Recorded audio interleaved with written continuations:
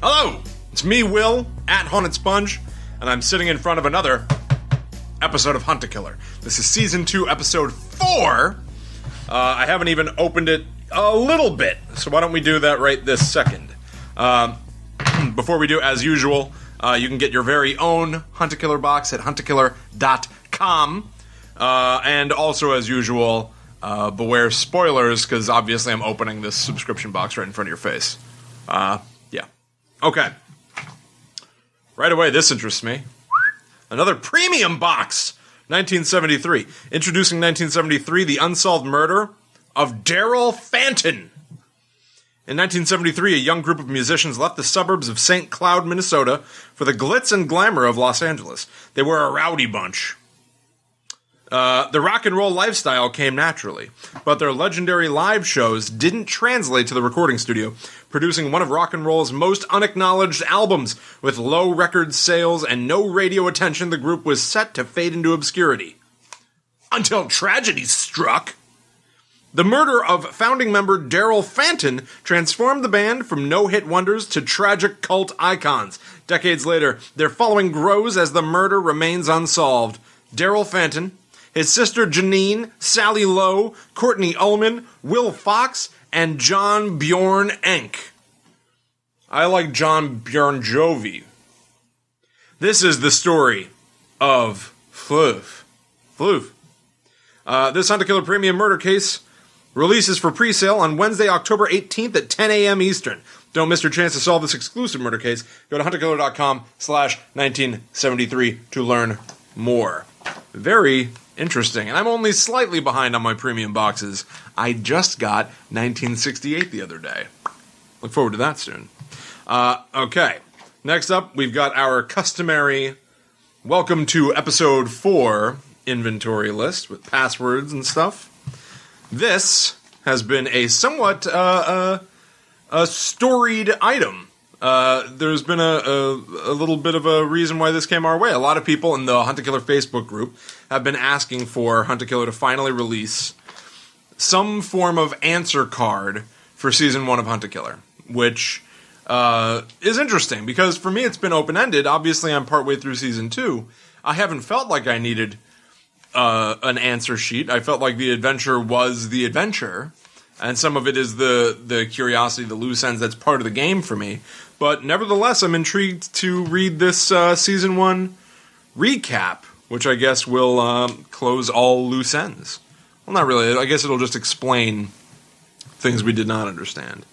Um, okay, got a little plastic thing. I think that's just from the box.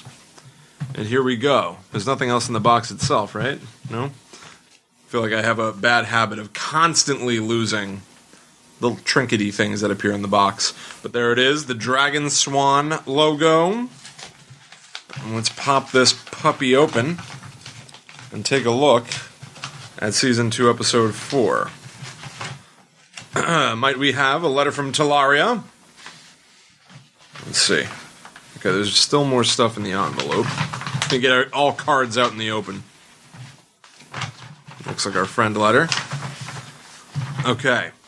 All right. Oh no, no, this would be our John William James letter. This one. So what is this? This looks like, the old friend envelope. Oh, now we have a Dragon Swan stamp. That's the same version of the Dragon Swan that appeared on a card to us. Ooh, uh, sticky. All right, let's see. You have received this package through Talaria. The contents of this package have remained absolutely secret and secure under our protection. Per his prerogatives, capital H. Both you and the sender of this package remain in the highest regard per his prerogatives. Uh, though the past may appear to follow you, a quick glance behind will reveal that it is merely shadow. That's a new line. Do not waste your time wishing for happiness that will never make it out of the realm of death. Do not waste our time. That's pretty cool. Something's going on with Talaria. I'm guessing that John William James is now in charge. It seems like whatever organization he uh, joins, he ends up heading. It's pretty cool. Uh, all right, let's pop this open. Little envelope. Is this all that's in there? constellation card. Okay, so we've got the snake with an eagle and a horse and a crustacean lobster crab scorpion. Wow. I didn't I forgot what a scorpion was.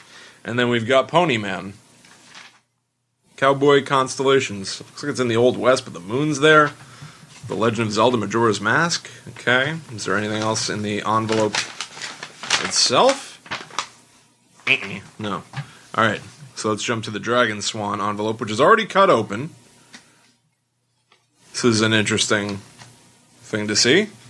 You guys saw that. I did not open this. It's already sliced clean open. Oh, we got a couple things. Was this a Subway Sub Club card? Heck on Wheels. Food Delivery Foundation.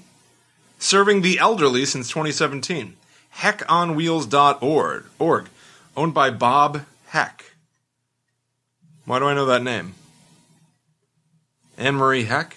Is that the guy that killed his mom? So now he delivers food to the elderly? Wait, what's that little picture? It's like a little doofus driving a car. Eh, it's not really going to register. Uh, Dragon Swan, I've saved many people from the tail, toil of this world in your name. From Put in Bay, I followed the path you laid out for me. Highest regards, Bob. I'll have to give that a more deep dive read later on. Uh, but yeah, let's jump to this envelope now. Boy, I need just like a. I need a Hunt a Killer. I need a letter opener. You guys don't send as much uh, as many office supplies as you used to. Send me a Hunt a Killer letter opener. Who is it, the Hunt a Killer? Who's who's at the headquarters down there in Maryland? Whose job it is to just lick all the envelopes? A lot of sealed envelopes in Hunt a Killer. Oh, oh no, no!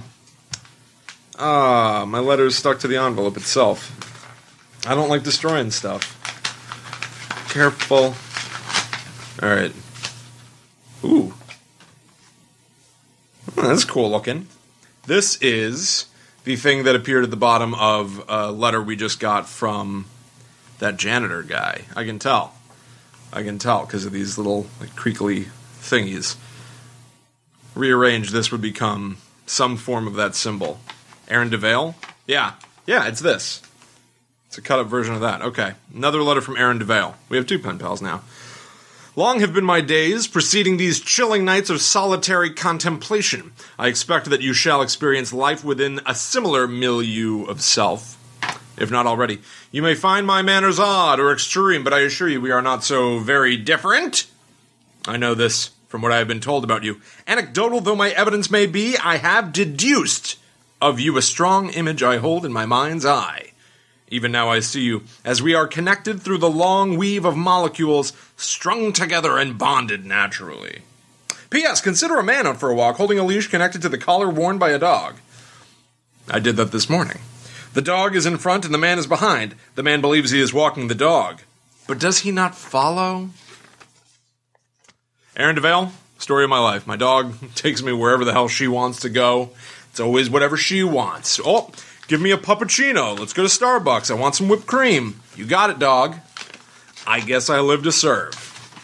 All right, final item. Our, of course, John William James letter.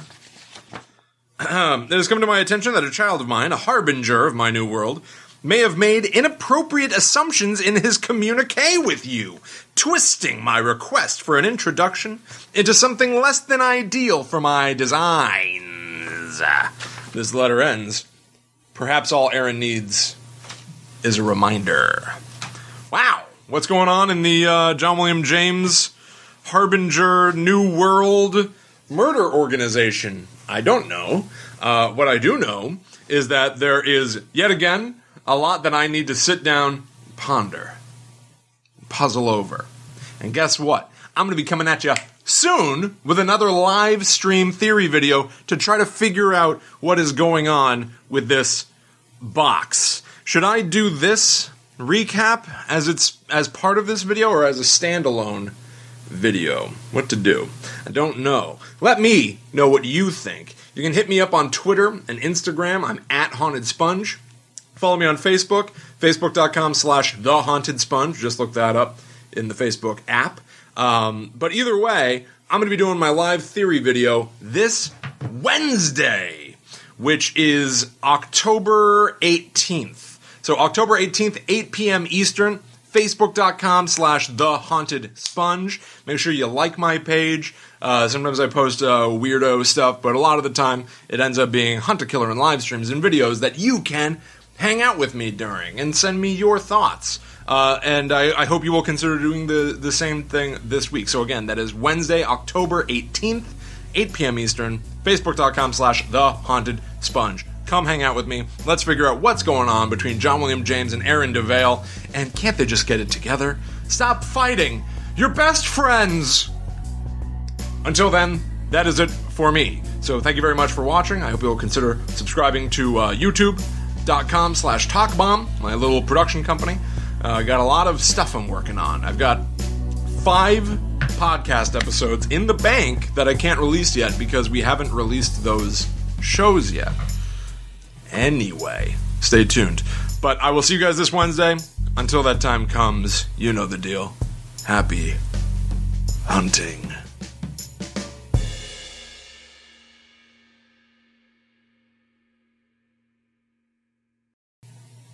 Hey, do you like that I look like I'm just kind of floating around in heaven? Very washed out. I think that this is uh, actually a decent technique so that I look uh, younger. You know, it gets rid of the crow's feet, the wrinkles. I look like a young man. I took 50 years off my life. Now I'm only 49. I'm 99 years old. All right, bye, guys.